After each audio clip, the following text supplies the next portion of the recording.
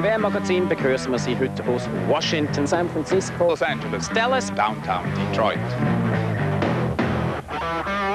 Wir sind nicht irgendwo weiter weg, steril in einem Stück.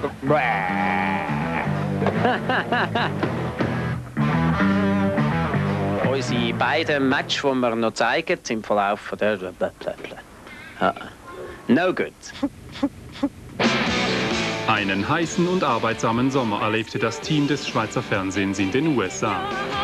Jetzt jetzt machen wir es nochmal. Wir gehen jetzt in den Silverdome von Pontiac. Dort hat es nämlich den Oberste, den muss ich noch mal machen, das ist Birelei. Frisch sauer, ach nicht. Okay. Kommen wir zu bombig, ja, bombig ist nicht gut an dem Platz. Kommen wir zu gute Kritiker, aber gut. Nochmal. Musst du es fertig machen?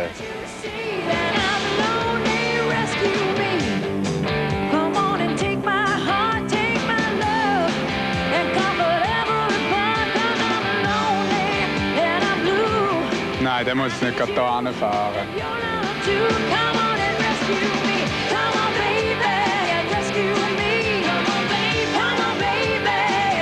Wir kommen jetzt zum Schluss vom... Das ist eben ein Scheiß. Keine Angst, Matthias Hüppi, wir beginnen ja erst. Und zwar mit dem 13. Juni dieses Jahres. Da landete die Schweizer Nationalmannschaft nämlich in Detroit. Die USA hießen alle willkommen zur WM-Endrunde. Also wenigstens fast alle. We'll need to back up. Need you to move, sir. Please back up. If not, Only a picture of the arriving of the Swiss team. no, sir. No, can do. I'm sorry, sir. We need to have you off property. We need you off property, sir.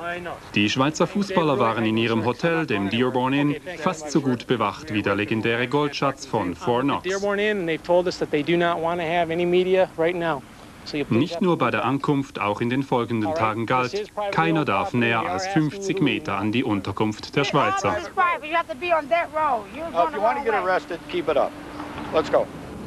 Wir vom Schweizer Fernsehen ließen uns aber auch von massiven Drohungen nicht einschüchtern und blieben der Hodgson-Truppe auf dem Weg in den Silverdome auf den Fersen. Das WM-Fieber erreichte bei den Fans einen ersten Höhepunkt.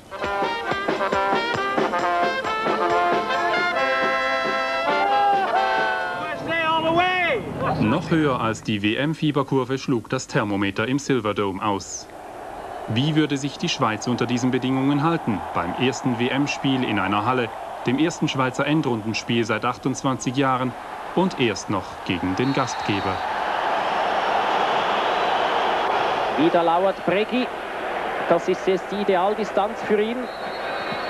Rechts oben. Ja! Ja!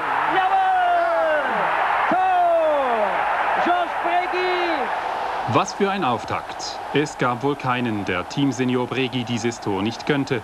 Denn man wusste damals schon, nach der WM beendet er seine Karriere. Doch die Schweizer Herrlichkeit dauerte knapp eine halbe Stunde, bis zum Freistoß für die Amerikaner. Noch wiegte Benny Thurnherr sich und die ganze Fußballschweiz in Sicherheit. Es gibt keinen zweiten wie Bregi. Oh, der Ball ist drin. Der Ball ist tatsächlich auch drin. Eric Winalda traf noch genauer als Bregi. Torhüter Pascolo konnte nur noch staunen. Zugegeben, er hat wirklich perfekt getroffen. Leider, denn dieser Freischuss war ihre einzige Chance im ganzen Spiel und wir haben aus unseren vielen Möglichkeiten nicht mehr gemacht. Winaldas Kunstschuss war der letzte Höhepunkt im Spiel. 1 zu 1 gegen die USA hatte die Schweiz dieses Spiel nun nicht verloren oder nicht gewonnen?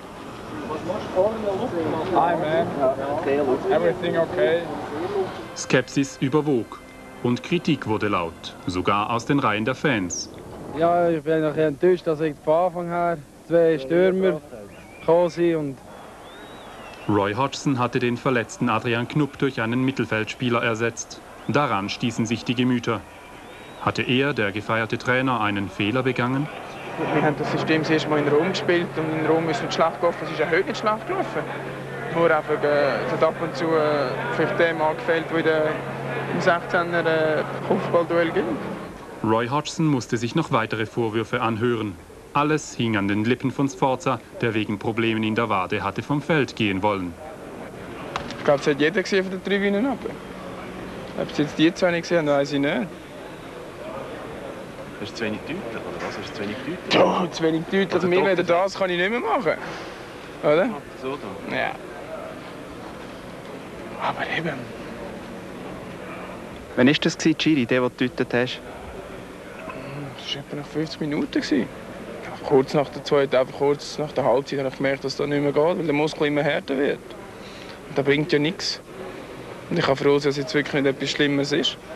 Er hat ja während dem Spiel durch seinen maximalen Einsatz äh, einen Muskelkrampf erlitten und dort hat man ihn dann auswechseln, weil man den Krampf einfach nicht mehr lösen. Er ist sicher fit ins Spiel gegangen. Er hat keinen Schmerz mehr gespürt. Die erste Halbzeit ist ja auch ganz gut gegangen. Aber es kann sein, dass er im Unterbewusstsein einfach die Verletzung noch ein bisschen im Kopf hat und wegen dem nicht ökonomisch gelaufen ist und sich der Muskelkampf dann zugezogen hat. Sforza angeschlagen, Knupp verletzt und kritische Fragen. Keine leichte Zeit für Hodgson. Und es gab noch dickere Post aus dem Lazarett. Der Alain Sutter ist im Moment am Baden. Er macht äh, sein Auslaufen im Schwimmbad. Wir haben ihm diesen Tag Pause gegönnt. Äh, wir, das erste Prinzip ist jetzt einfach, dass wir die äh, Schwellung und den Bluterguss können möglichst klein halten respektive wieder zum äh, Zurückbringen äh. Er hat aber eine Zehe gebrochen. Er hat jetzt eine kleine Zehe gebrochen, ja. Die Geschichte des Cs der Nation begann. Nur der Betroffene selbst nahm das Ganze, wenigstens äußerlich, sehr gelassen hin. Ich hatte eine Spritze zum Trainieren und dann, äh, dann hinke ich nicht. Und wenn die Spritze nachhält, dann hinke ich wieder und dann tut es auch wieder weh. Aber das äh, ist wirklich kein Problem, Simon. Und wie stellt, ja, ja. wie stellt man sich mental darauf ein, wenn man so eine Verletzung hat? Ja gut, ich, äh, ich habe keinen Schmerz und dann ist es auch kein Problem, äh, mich darauf einzustellen. Jetzt sind gerade die zwei besten Mittelfeldspieler von der Schweiz, du und äh, äh, Chiriakos Faza, ein bisschen verletzt. Ist das nicht ein Handicap? Nein, ich glaube, die Leute in der Schweiz die suchen überall, wieso das jetzt halt schlecht geht. Wir sind hier WM und sollen sich doch mal alle zusammen freuen und nicht immer etwas suchen, was schlecht gehen. Wir sind, wir sind elf Spieler, wir haben es nachher geschafft und äh, ich bin zuversichtlich für morgen. Also du freust dich weiterhin aufs Spiel? Ja, klar. Und äh, sollen sich doch mal alle zusammen in der Schweiz freuen, dass wir überhaupt hier sein können und hier können spielen Nur bei Roy Hodgson war von Freude vor dem Spiel gegen Rumänien wenig zu spüren. Gegenüber den Medien kehrte die Eiszeit ein. So war der Zugang zum Training erlaubt, wenn überhaupt. Okay, can I let him in yet or not? Come on, let him in. Okay. Orderly, please. Die Kontakte wurden auf das Allernötigste beschränkt. Wie viel, wie viel Fragen? Zwei. Zwei. Okay. Okay, count. Zwei Fragen. Right, eins. Okay. Roy Hodgson, 24 Stunden vor dem Spiel gegen Rumänien. Wie sieht die Situation im, im Schweizer Team aus? Sehr gut, sieht sehr gut aus. Immerhin einen Lichtblick gab es. Adrian Knupp meldete sich zurück. Ich bin glücklicherweise wieder fit. Ja, ich habe jetzt, äh, am, seit am Freitag regelmäßig trainieren. Das wird, äh, wenn ich spiele, mein erster Einsatz an der WM und äh, da freue ich mich wahnsinnig drauf. Mit Knupp gegen Rumänien, so schrieb die Schweiz Fußballgeschichte. Making Soccer History. Sutter! Ja! Diesmal zählt's! Diesmal zählt's! Tor, Tor, Tor! Oh, wenn der noch zum Abschluss kommt. Das Spiel ist unterbrochen. Das Spiel ist unterbrochen. Nein, es ist nicht unterbrochen. Tor, Tor! Chapuisat 2 zu 1. Sforza, herrlich, herrlich. Sforza alleine. Und jetzt schön, Knupp. Tor, Tor, Tor, Tor, Tor. Juhu. 3 zu 1. 3 zu 1. Knupp, Tor. 4 zu 1.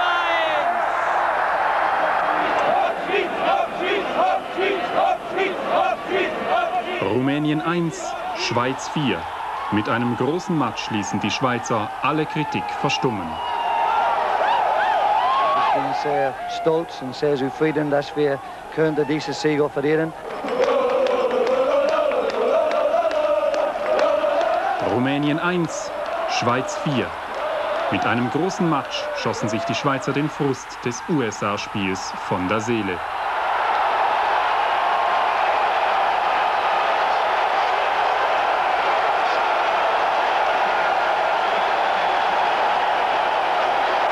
Sicher zufrieden und ist klar, jetzt sind wir glücklich. Rumänien 1, Schweiz 4. Mit einem großen Match spielten sich die Schweizer in den siebten Fußballhimmel. Ich bin äh, unbeschreiblich glücklich im Moment. Äh.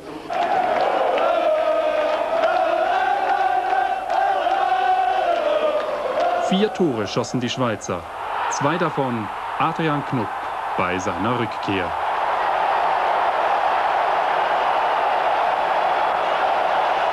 Ich glaube, ich habe heute mir sicher einiges vorgenommen. Sicher auch aus dem Grund, äh, weil ich bis jetzt ein bisschen verpfuschte Vorbereitung habe für die WM. Ich hatte doch eine lange Zeit Probleme mit meinem Knöchel und habe nicht regelmäßig trainieren Und ich bin in das Spiel hineingegangen, völlig gesund und auch heute einfach zeigen, was ich drauf habe. Knupp hatte noch mehr drauf als nur die beiden Tore. Und er riss nicht nur Löcher in die Verteidigung des Gegners. Mit ihm hatte das Team seinen Stil zurückgefunden, die Organisation. Neben Knupp spielte sich im Rumänien-Match ein zweiter in den Vordergrund. Alain Sutter schoss trotz seines gebrochenen Zehs ein Tor. Das ist ganz klar, wenn man äh, mal bei der WM ein Goal schießen kann, dann bleibt das sicher in, in guter Erinnerung. In guter bzw. aus seiner Sicht in schlechter Erinnerung behielt der rumänische Starstürmer Florin Raducioiu hingegen nicht den Schweizer Angriff, der vier Tore schoss. Die Verteidigung brachte ihn schier zur Verzweiflung. Die Schweizer haben die Abseitsfalle hervorragend gestellt und uns das Spiel dadurch noch mehr erschwert. Dabei hat vor allem Kapitän Alain Geiger eine super Partie geliefert. Kompliment. Insomma, non, non è che potevano subire ancora magari un gol o due, grazie a lui non, non hanno subito, quindi complimenti a Geiger soprattutto. Rumänien 1, Schweiz 4. Ein Ergebnis, das man sich nicht oft genug auf der Zunge zergehen lassen kann. Glücklicher als heute kann man nicht sehen. Das kollektive Glücksgefühl schwappte vom Silverdome in Detroit als Woge der Begeisterung hinüber in die Schweiz.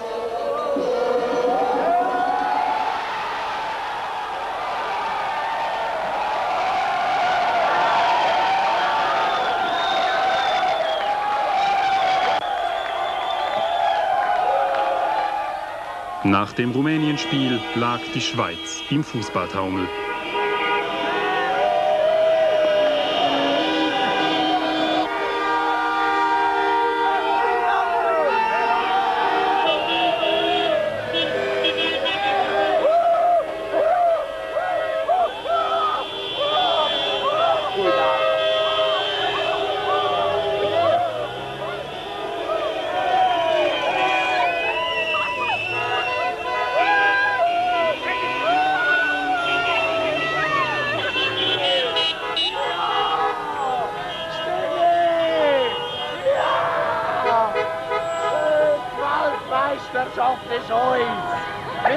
Weltmeister. Ich weiß es. Ole!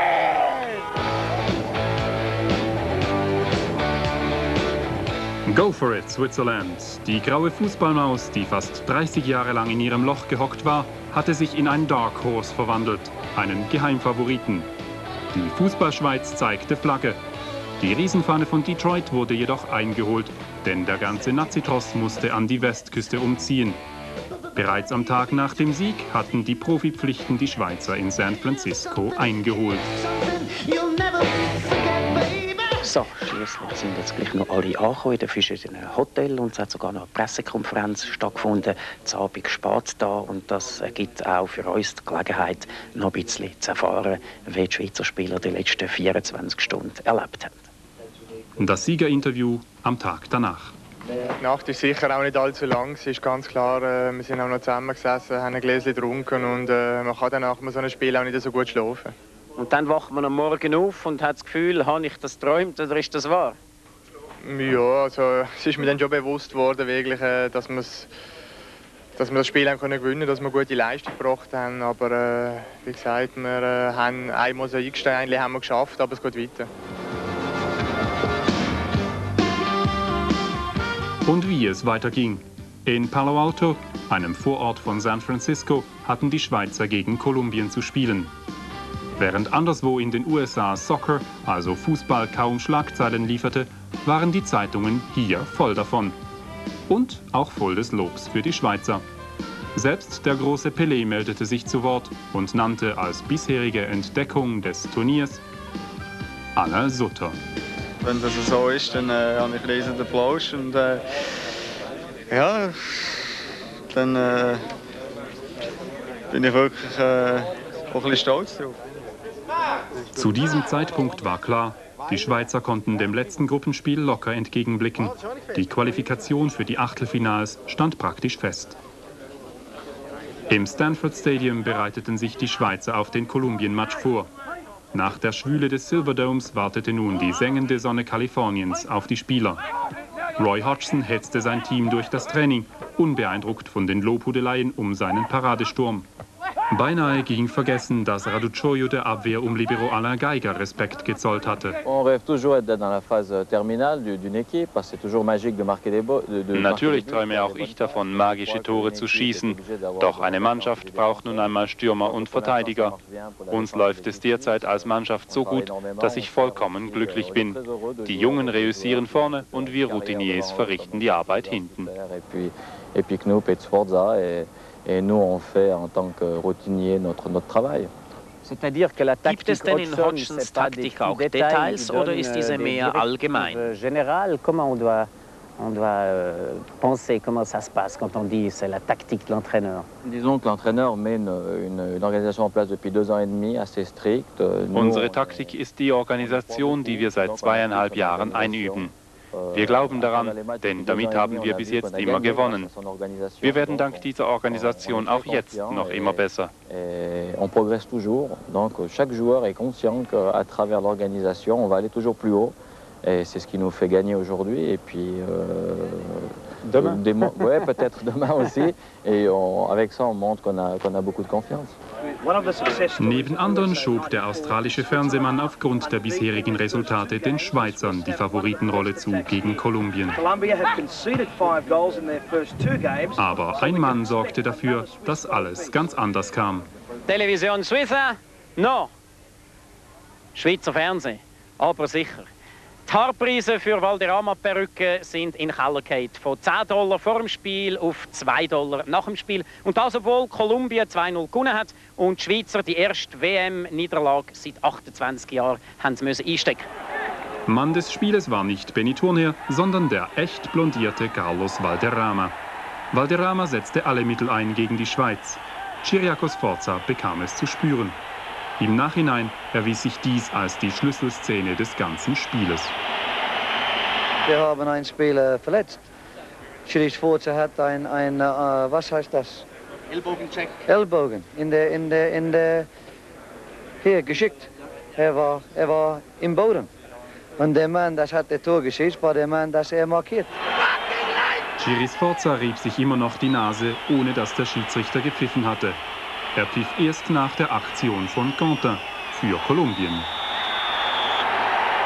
Die Kolumbier führten den Freistoß schnell aus und schon stand es 0 zu 1. So wie unkonzentriert sind, weil wir im Prinzip mit dem Schiedsrichter diskutiert haben und er hat das Spiel eigentlich noch gar nicht freigegeben und der Waldrahmen hat das Spiel schon, die Ball schon gespielt und ich glaube auch nachher, so wie mir der Knut gesagt hat, ist er noch behindert worden oder ist von Masprilla praktisch über den Hüfel gerannt worden, dass er nicht in die Position kann laufen wo der andere mit dem Kopf ist nachher.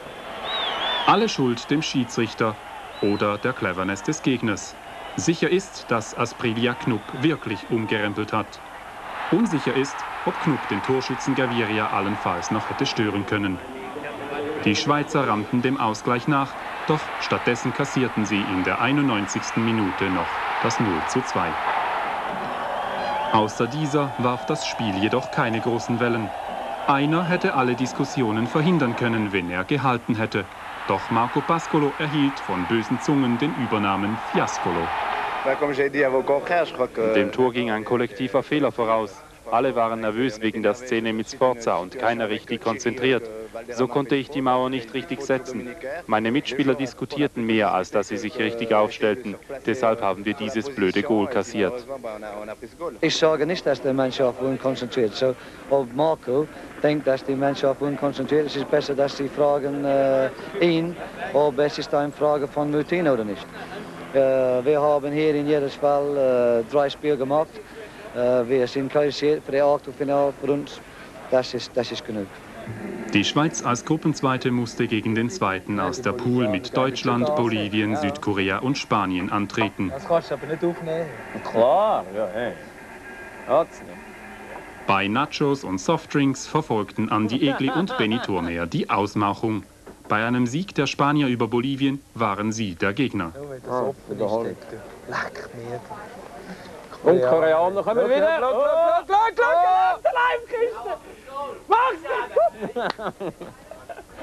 Immer vorausgesetzt, die Koreaner sorgten nicht noch für eine Überraschung gegen Deutschland. Ja, ist glaub ich noch nicht Schau alles schau gut. jetzt. Eine Riesenkiste, hey. Hey, hey, 25 Meter, hey. Irgendwann hat sie noch berührt, ist mal bei Ja, der ja. Russer ist gerutscht, oder? Schau, wenn du es von hinter dem Goal wirst gesehen. Ist er über der Russer ist, ja. hat sie unterschätzt. Schau jetzt, Spanier. Oh, 2 noch. Jawohl, jetzt müssen wir nur noch Koreaner rein machen, dann ist, dann ist Schweiz Deutschland. Cami, Caminero, Atletico Madrid. Schau jetzt, schau jetzt, Korea. Uh, Leck mir, du. Oi, oi, oi, oi! Nein! Das ist faul, musst faul. Jetzt gibt's noch, jetzt gibt's Gibt's was Penalty? Nein, nein, nein, nein, nein, nein, nein, Freistoß. Freistoß. Jetzt ist nicht schlecht. Können wir mit dem Schuss kann's entscheiden, Deutschland oder Spanien? Hey. nein, nein, gegen die Deutschen nicht so, nein. Aber Corner gibt's noch, Corner. Oh. Ah, ist fertig. L'Espagne. Die Schweizer reisten nach Washington zum Achtelfinal gegen Spanien. Ein Gegner, der von der Schweiz in Bestbesetzung zu schlagen war. Doch würde Sutters kaputter C die Tortur mitmachen? Es kommt beim Fußball zum Glück auch immer ein bisschen auf die Tagesform drauf an und wie dass wir uns werden darauf vorbereiten. Ich sage einfach, vom, vom Ganzen her ist, ist Spanien Favorit, aber wir haben sicher Möglichkeiten, ihnen das Leben schwer zu machen. Ob ich spiele, das äh, wird sich zeigen, wie das morgen aussieht. Ich, äh, ich habe alles dafür da und werde weiterhin alles dafür tun, dass ich kann spielen kann. Äh, es geht einfach darum, wenn ich einer Mannschaft kann helfen kann, wenn ich etwas dazu beitragen kann, dass, dass wir eine Runde weiterkommen dann werde ich spielen. Und wenn das nicht der Fall ist, dann werde ich nicht spielen.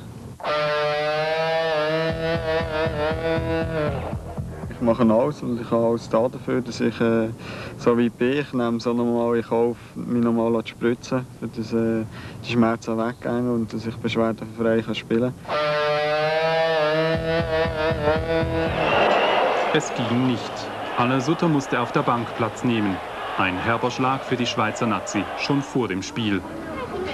Von all dem wussten die Spielerfrauen noch nichts, als sie auf dem Weg ins Stadion waren. Veronique Geiger, Carole Chapuisat, die Freundin von Christoph Orel, Natascha Subiat und die Freundinnen von Stefan Lehmann und Yvonne Conte freuten sich auf den Einsatz ihrer Männer, wie Marianne Bregi. Der Altmann hat überzeugt, sehen Sie das auch so? Ja, ich sehe sowieso, vor allem weil er im Vorfeld immer ist diskus ist diskutiert hat wegen dem Eltern. Hat jetzt er das kann er rechtfertigen und äh, da kann er stolz sein. Und Sie? Ich auch. Ich hoffe schon, dass die Jugend vielleicht mal zum Zug kommt, aber ich meine, die Mannschaft steht und so wie sie spielen, ist gut. Oder? Aber ich meine, die Hauptsache ist, man ist dabei und alles andere ist unwichtig. Auch die Freundinnen von Thomas Bickel in der Mitte und Alain Sutter rechts kamen zur Unterstützung. Die Frage ist nur, wissen die Männer überhaupt, wo sie ihre Frauen finden können? Er weiß es ungefähr, ja. Aber er ist nicht der Typ, der mich lange suchen Er weiß einfach, dass ich ganz fest den Daumen drücke. Schweiz gegen Spanien, wie es die Frauen erlebten. Schweiz! Hopp Schweiz! Hopp Schweiz! Hopp Schweiz! Hopp Schweiz!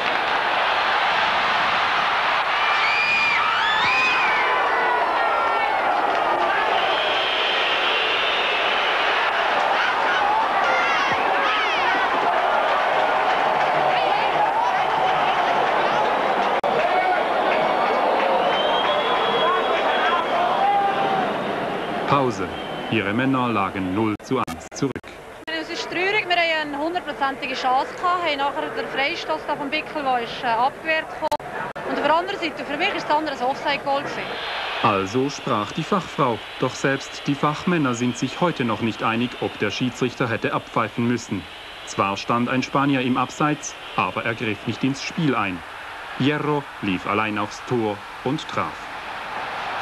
Die zweite Halbzeit.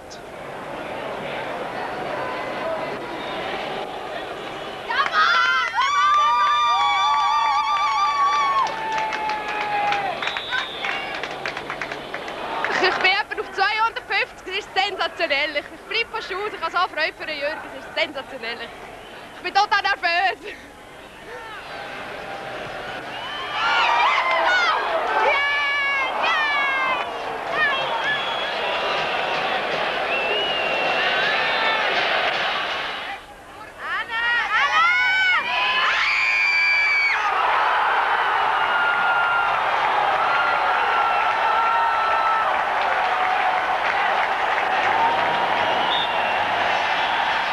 Zu 3, das Ende des Schweizer WM-Abenteuers. Ja, ich meine, es ist schon ein Traum, dass wir überhaupt haben können an die WM, äh, WM können gehen und jetzt haben wir uns für das Achtelfinale qualifiziert. In meinem Großen und Ganzen müssen wir zufrieden sein, obwohl der Enttäuschungsmoment natürlich riesig ist.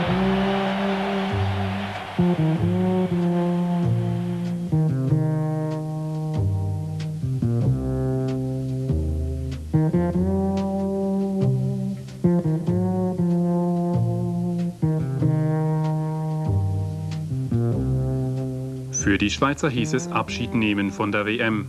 Allerdings nicht ohne einen offiziellen Empfang in der Schweizer Botschaft in Washington.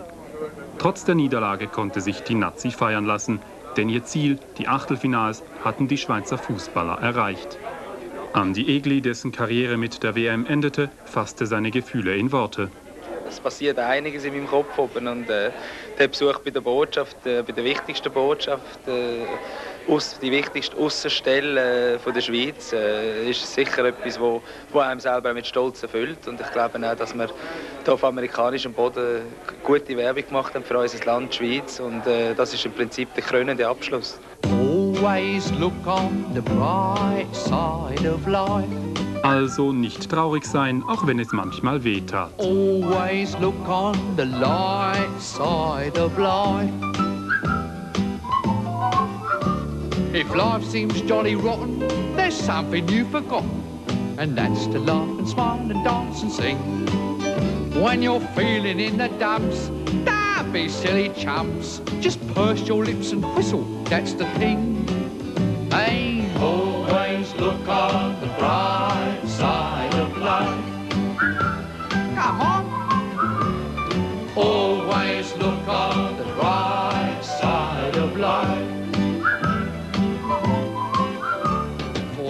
Was bleibt, sind tolle Erinnerungen an einen heißen Schweizer Fußballsommer.